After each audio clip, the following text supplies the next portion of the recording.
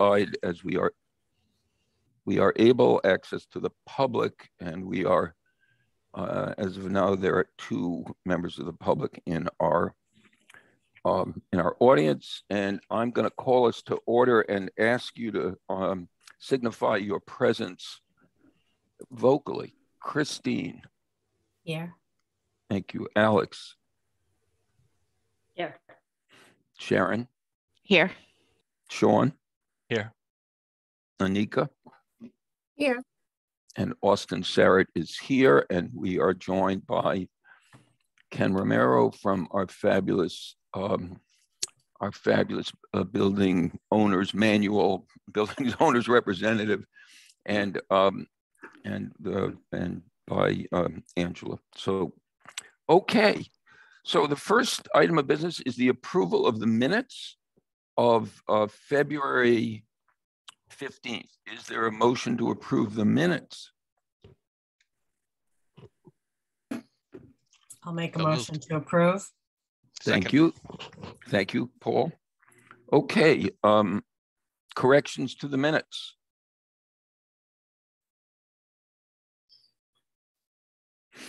Okay, we ready to vote on the minutes? So, um, a call on you and yes, you vote to approve the minutes or no, you don't vote to approve the minutes. Christine, Approve. thank you. Alex, Yes. thank you. Sharon, Yes. thank you. Anika, Yes. thank you. Sean Yes. and the town manager. Yes. He gets the prize for the most enthusiastic support of the minutes and I Aus- love minutes. Austin votes, um, Austin votes yes. Okay, the next item on the agenda, by the way, it's just terrific to see you all. And uh, before we do the agenda, I just want to say, like everybody else, um, you know, we we are stunned, saddened, fearful, and uh, supportive. There's a great headline in a newspaper that says, "We are all Ukrainians now," and uh, I feel ever more privileged to live in this wonderful town. Okay, Sean, finance update. So maybe, uh, can you make me co-host or give me access to share my screen? I'll try to, trying to spice these finance updates up um, a Way little to- bit. Way to go, um, Angie. Can we do that? There you go. So Angie's going to make you Okay, there co- it is. co-host. So yeah, so don't mind the spelling. Um, but just so people have a sense of some of the reports that we provide to Sharon for her reporting. Right. This is the spreadsheet that we're maintaining for her. Uh, so we have our first grant disbursement here. Um, so that's the money coming in. That's that first milestone payment with um, with signing the contract. And then each month we're updating the interest. So you can see we've just Mhm. after two months, we've already generated, um, you know, $1,700. Um, and that will continue to add up throughout the life of the project, especially as we add additional grant disbursements in there. So that is it for the financial update for today, because there has not been much changing since the last time. Um, other than Good. we are still, we're still working with the OPMs and the, uh, to get a design contract signed. Great. Thank you. Thank you, Sean. I like the numbers are moving in the right direction. So that's great. It's growing. Yep. It's growing. So any questions for Sean, uh, for Sean about the financial update? The only other, other thing I'll say quickly is um, our financial advisor has started putting together updated scenarios and just, I think I maybe alluded to this in the past, but um, interest rates are starting to tick upward. So it's just something to keep in mind. They're, they're still good, but they're not quite, yeah, he has revised upward his estimates for the life of the project in terms of um, the interest rate assumption. So I'll share those with the group at some point once they're, they're sort of finalized. Great. Thank you very much. Okay, the next item, item number four on the agenda is a report from Colliers. Ken Romero. Uh, so as Sean alluded to, we've been working with FAA at this point, and uh, Ken and I have gotten to a, a fee and also I'll say the services that we feel are fair and just and are at a point that we'd like to share that and uh, you know get input and hopefully a, a, motion at some point shortly to go ahead and hire FAA. I know there's some other discussions going on, so I didn't want to bring that uh, to the committee now because I know there's still, uh, again, some on, ongoing discussions. So uh, at this point, we do have uh, a fee proposal that we do find acceptable to them.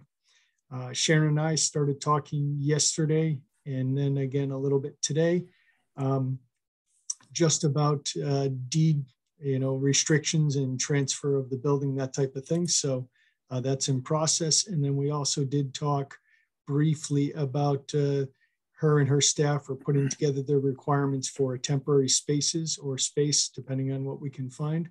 So we can start looking into that. So those, I believe, are the three tasks that we had uh, from the last meeting as I go down my list.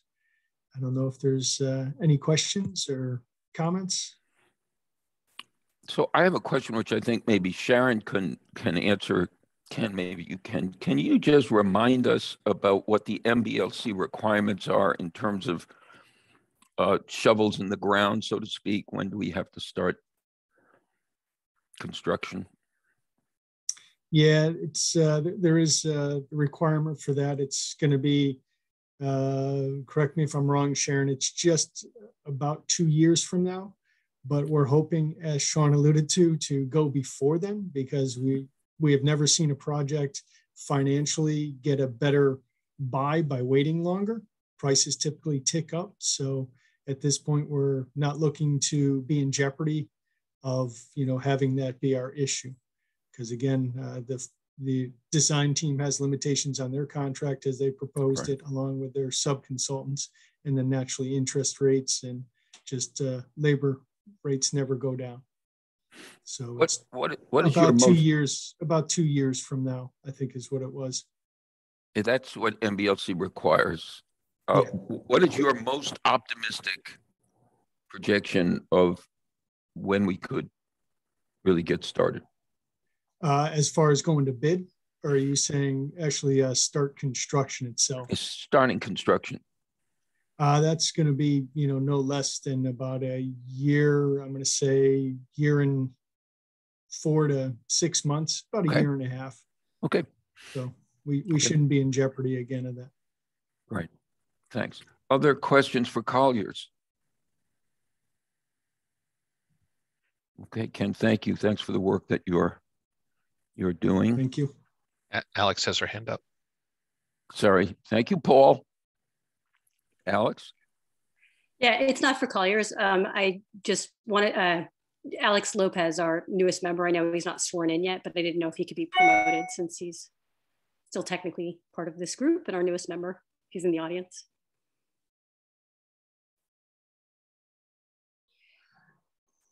So I, I'm not sure that he's he can be part of the meeting yet, unless he's been sworn in. I'm thinking Anika was part of our first meeting. She just didn't vote, was how we handled it. So I assumed we'd do the same here. But if I'm wrong, I stand corrected. I'd be instructed by the town manager. So what is the protocol? I, I think that um, Mr. Lopez took the time to be here. We should invite him into the room. Great. Okay. Alex Lopez. Hey, how are you? I'm good. How about y'all? Well, we're thrilled to see you and grateful that you've uh, agreed to uh, work on the committee and look forward to uh, the work that we will all do together. So thank you. Thank you very much. Okay. Next is a, uh, the subcommittee reports, which I think can be brief. Subcommittees have not met yet. However, we do have meeting dates. Uh, the design subcommittee will meet on Friday the 4th at 9 a.m. And then the outreach committee is scheduled to meet on Thursday the 8th at 4 p.m. So uh, we are we are really eager to get uh, eager to get started. Okay, any questions about the subcommittees? Okay. Next item is number six on the agenda, which is correspondence. We want you to be sure that you uh, are seeing the proposal from the Kestrel Land Trust uh, to move uh, the Kinsey Garden uh, from the back of the library to their new site on Bay Road. And the this proposal was reviewed by the Buildings and Grounds Committee of the Jones Library Board of Trustees and reviewed and approved by the Board of Trustees itself, pending a necessary consultation with the Historic Commission. Uh, anybody have any questions about that correspondence?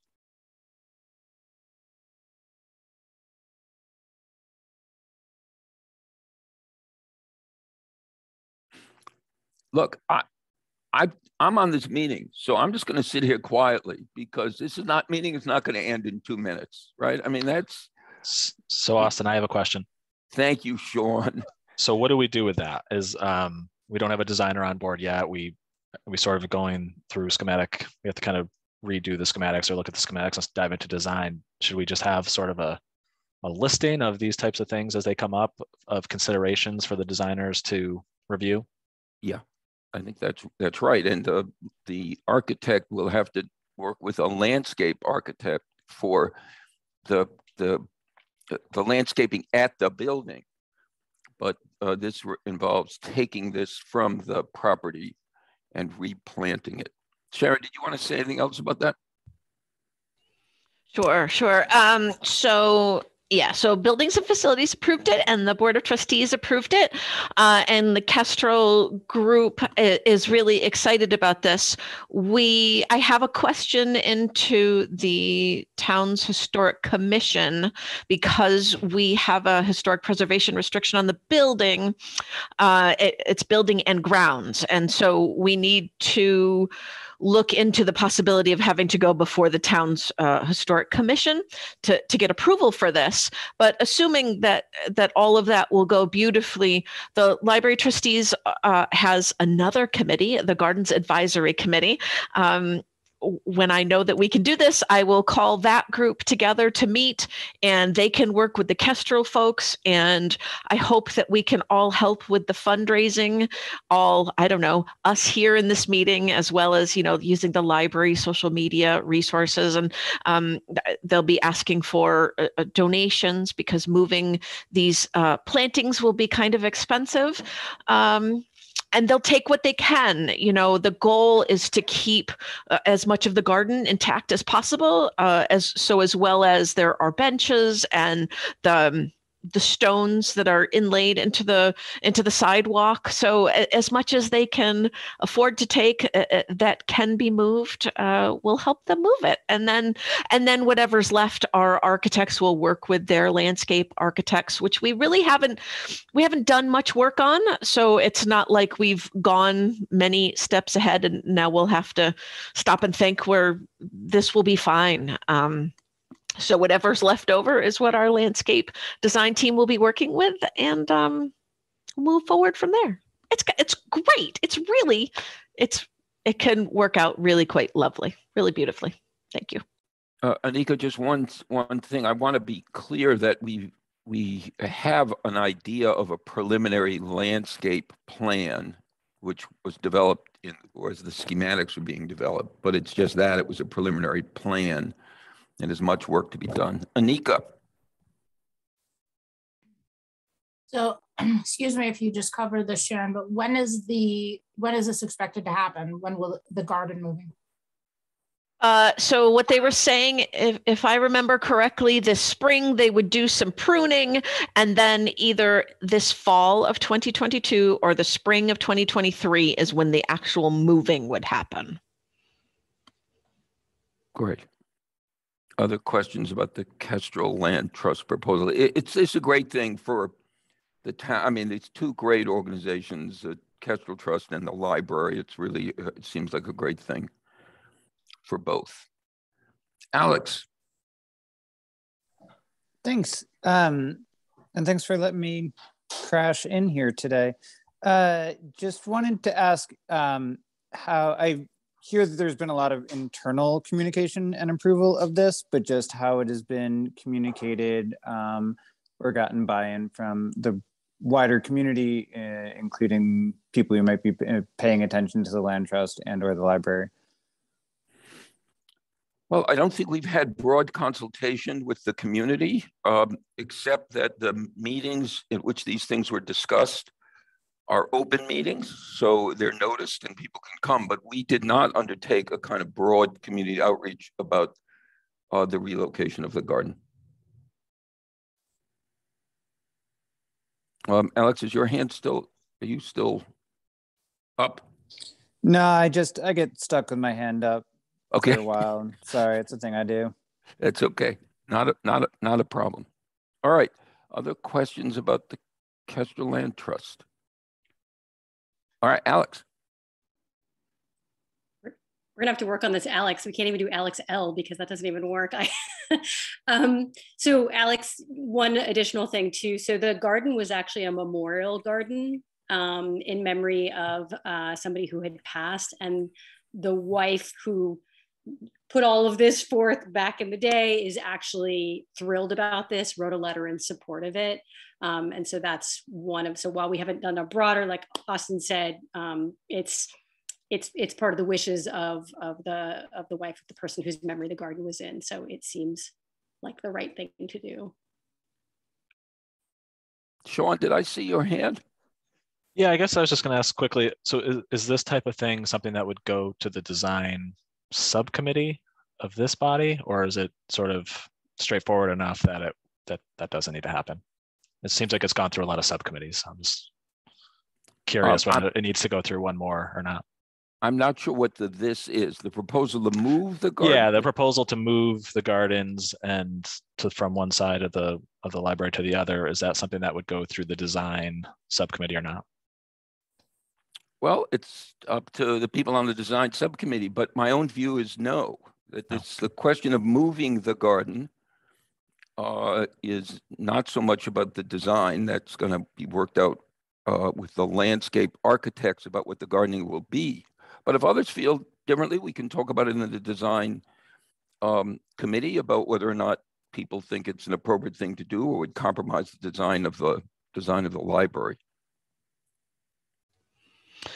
you know i think for just a little bit more um a little bit more background. So everybody realizes that during construction you know stuff things are going to happen back there. And and so the the worry was for the plants uh, that are in existence. So when this proposal came along it it it it solved so many problems. So um so i feel like what would end up going to the design committee would be whatever's left over. Um, uh, so as long as the historic commission says this is okay, if they have to say it's okay, um, it it seems like there's nothing bad that could come of this. Great. Okay, other questions, observations about the Kestrel Land Trust? Okay, next item, topics not anticipated by the chair. There anything that's come up in the last 48? Paul? Yes, well, just to report, we already know this, but the council voted unanimously last, last night to approve Alex's appointment. Um, I'm not, he probably hasn't, I, I know Angela's already done the letter, whether it's gotten to him or not, and um, so th- that's your only, your only thing now to do, Alex, is at some point come into to the town clerk's office and get sworn in. Uh, That's right, exactly that. Um, and the other thing is that uh, just to make sure Alex is aware that um, I think his role, he, he has a seat on the outreach committee. I think that we designated this, his, the incoming appointee. And so whenever that meeting is, I hope Alex is aware of that. Uh, and also to alert us that if, you know, you invited people to come to those out, those um, subcommittees, if there's going to be a quorum of this body at those committees, that's going to be, if we're going to be talking about something, we should post it, post it as a committee of the whole. It doesn't mean you can't attend, but if you're going to participate in the discussion or want to expect to participate in the discussion, if we're going to have a quorum, the, this body should be a, you know, posted as such. Could you just that say make that? No, well, I, it, it made perfect sense, but I didn't understand it. So if, if people, if people want to attend as attendees, that's fine. We don't need to notice it. Right. But the, But if- what, what would happen beyond that? So if, if we were in a room and you said, um, and, and you're in your subcommittee, and you say, oh, Austin's in the audience or Paul is in the audience, let's bring them into the room. And you're not bringing anybody else into the room who's I in the see. attendee Okay. section. Um, then that means they're acting as part of their role here. So just, we just want to make sure that we honor the integrity of the subcommittee group as opposed to, we just don't want any violations of the open meeting law of this group.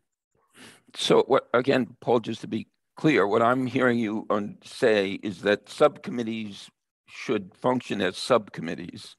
And unless it was something urgent or unusual, not bring mem- other members of the committee into the room. Right. And sometimes that's done inadvertently. People are Yeah. courteous, right? It's not intended. Yeah. Yeah. Okay. All right, next, thank you. Anything else that we not anticipated? Okay, next is opportunity for public comment. We have five attendees. Uh, any public comment? I see one hand up. Angela, what do we do? There we go. So, Mary, Hi, can you hear me? yes, thank you for attending. Mary Sayre from Pine Street, North Amherst. Um, and I, um, I don't know whether it's a question or a comment, but I know you're going to have um, two things coming up about buildings. Uh, one would be closing the North Amherst Library and moving the books somewhere, and the other would be moving the books for the Big Jones Library um, renovation. And I was curious if um, the space in the North Amherst School has been considered, if that space is still available that the family center was in. Um, so I don't know whether this is appropriate for this committee or, or another one. But I was just, if the North Amherst Library closes and is consolidated with South Amherst, clearly it's just closed because North Amherst people won't go to South Amherst. They'll go to the Jones. But I was thinking as a way of, of keeping the books that maybe there would be a space in the North, old North Amherst School. So that's Thank all. you. Thank you. Thank you. Thank you for the comment. As I understand it, the North Amherst Library and what happens at the North Amherst Library is not part of our charge. Okay.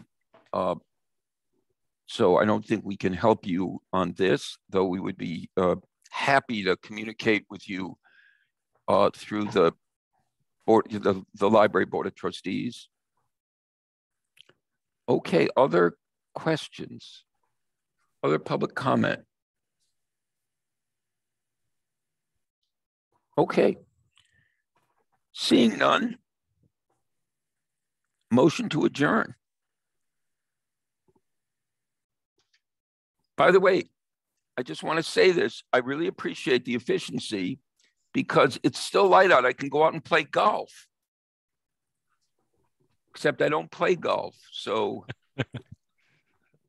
it was just a thought. Okay, motion to adjourn. So moved. Thank you, Alex. Second. So, Can I just, so you can just declare the motion, the meeting adjourned, otherwise, so we don't have to do No, I- a roll call vote. I You don't like- I doing like- that? No, I like doing this. Fair enough. I'm- I'm not in any hurry to get through this, Paul. You have golf waiting for you. Call me out. Oh my God. So vote yes to adjourn. Do it quickly so Paul will be satisfied. Christine, Yes. Alex, Yes. Sharon, Yes. Anika, Yes. Sean, Yes. George, Yes. Paul, yes.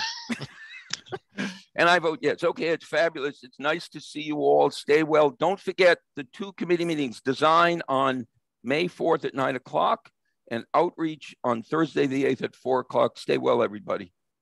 Thank you. Bye. Thanks. Thanks, Thank Alex. you. Thanks, Paula.